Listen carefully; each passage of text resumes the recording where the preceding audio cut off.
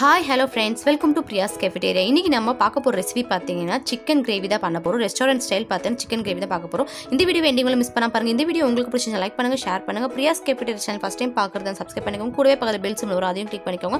அது கிளிக் பண்ணிங்கன்னா all option வரும் அதை சேர்த்து கிளிக் பண்ணிங்கன்னா எப்போ இந்த மாதிரி வீடியோஸ் போடலாம் எல்லாமே நோட்டிஃபிகேஷன் வந்து ரீச் ஆகும். இப்போ உங்கள் வீடியோக்குள்ளே போகலாம் ஒரு பேனில் நாலு வந்து ட்ரை காஷ்மீர் சில்லி ஆட் பண்ணிக்கலாம். ரெண்டு வந்து ரெட் சில்லி காரம் பொறுத்து நீங்கள் ஆட் பண்ணிக்கலாம். லவங்கம் பார்த்தீங்கன்னா ஒரு மூணு.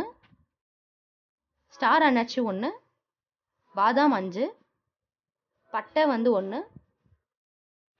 சோம்பு வந்து ஆஃப் டேபிள் ஸ்பூன் ஆட் பண்ணிக்கலாம். இதில் ஆயிலே விடாமல் ட்ரை ரோஸ்ட்டாக நம்ம வறுத்து எடுத்துக்கிட்டு ஃபைன் பேஸ்ட்டு நம்ம அரைச்சி எடுத்துக்க போகிறோம் இந்த மசாலா ஃபஸ்ட் நம்ம ரெடி பண்ணி வச்சுக்கலாம். அரைக்கிறப்ப பார்த்தீங்கன்னா ஒரு ரெண்டு தக்காளி போட்டு நம்ம அரைச்சி எடுத்து வச்சுக்க போகிறோம் சோம்பு போட்டு நல்லா வந்து ட்ரை ரோஸ்ட்டாக நம்ம ஃப்ரை பண்ணி எடுத்துக்கலாம். இப்போ வந்து எல்லாமே ரெடி ஆயிடுச்சு. இப்போ ஜாரில் வந்து நம்ம ஆட் பண்ணிடலாம். ஜாரில் ஆட் பண்ணிவிட்டு ரெண்டு தக்காளியை கட் பண்ணி எடுத்து வச்சுருக்கேன். அதுவும் ஆட் பண்ணி நம்ம ஃபைன் பேஸ்ட்டை அரைச்சி எடுத்துக்கலாம்.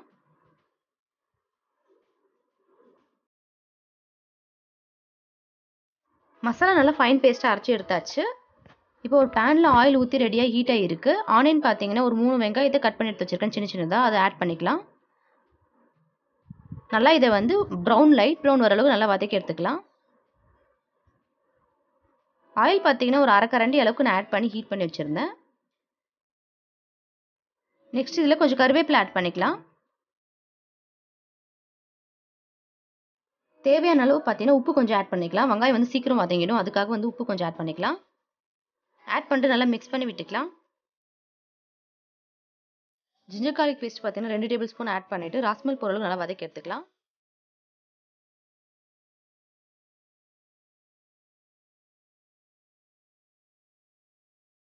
மஞ்சத்தூள் ஆஃப் டேபிள் ஸ்பூன் குழம்பு மிளகாத்தூள் ரெண்டு டேபிள் ஸ்பூன்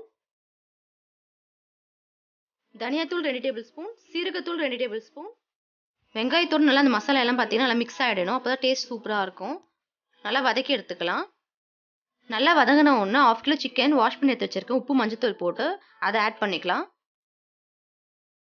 இந்த ஸ்டேஜில் ஆட் பண்ணதான் பார்த்தீங்கன்னா நல்லா வந்து அந்த சிக்கனோட சேர்த்து அந்த மசாலா வந்து உள்ளே இறங்கும். இப்போ நல்லா போட்டு ஒரு டேபிள் ஸ்பூன் அளவு பார்த்தீங்கன்னா கரம் மசாலா ஆட் பண்ணிக்கலாம்.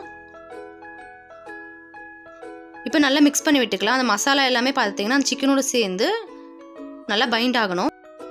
தண்ணி எதுவும் ஆட் பண்ணக்கூடாது. சிக்கன் இருக்கிற தண்ணியை பார்த்தீங்கன்னா வெளியே வரும். அது தண்ணியை பார்த்தீங்கன்னா மசாலோட சேர்த்து பைண்ட் ஆகி சூப்பராக இருக்கும் டேஸ்ட்டு இப்போ பாருங்கள் எல்லாமே வெளியே வந்திருக்கும் தண்ணி எல்லாமே. இப்போ நல்லா மிக்ஸ் பண்ணி விட்டுக்கலாம்.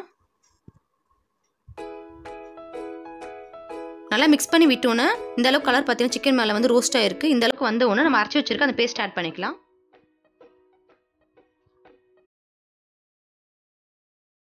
ஆட் பண்ணிட்டு நல்லா மிக்ஸ் பண்ணி விட்டுக்கலாம். அந்த சிக்கனோட சேர்த்து அந்த மசாலாவும் வந்து நல்லா பைண்ட் ஆகணும்.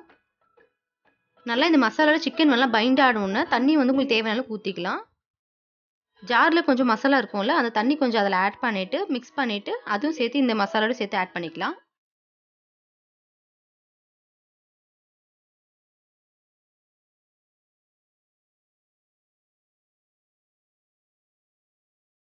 இப்போ நல்லா மிக்ஸ் பண்ணி விட்டுக்கலாம். ஈவனாக அந்த மசாலா எல்லாமே பார்த்தா சிக்கனில் வந்து மிக்ஸ் ஆகிடணும்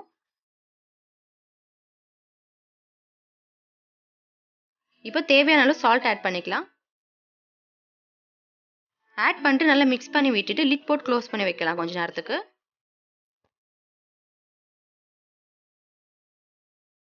நல்லா வந்து கொதிக்க ஆரம்பிக்கணும். பாருங்கள் சிக்கனில் இருக்க அந்த தண்ணி எல்லாமே பார்த்தீங்கன்னா நல்லா கொதிக்க ஆரம்பிச்சு சிக்கனில் இருக்க தண்ணியும் வெளியே வந்துச்சு. இந்த ஸ்டேஜில் பார்த்தீங்கன்னா ஒரு கியூப் அளவுக்கு ஸ்மால் கியூப் அளவுக்கு பட்டர் ஆட் பண்ணியிருக்கேன் டேஸ்ட் வந்து சூப்பராக இருக்கும். இதை ரெஸ்டாரண்ட் ஸ்டைல் பார்த்தீங்கன்னா டேஸ்ட் கொண்டு வரும். லாஸ்ட்டாக பார்த்தீங்கன்னா கொஞ்சம் கொத்தமல்லி ஆட் பண்ணிக்கலாம். ஒன்றரை டேபிள் ஸ்பூன் அளவுக்கு லெமன் ஜூஸ் ஆட் பண்ணிவிட்டு நல்லா மிக்ஸ் பண்ணி விட்டுக்கலாம். லெமன் ஜூஸ் ஆட் பண்ணுற பார்த்தீங்கன்னா டேஸ்ட் சூப்பராக இருக்கும் கொஞ்சம்.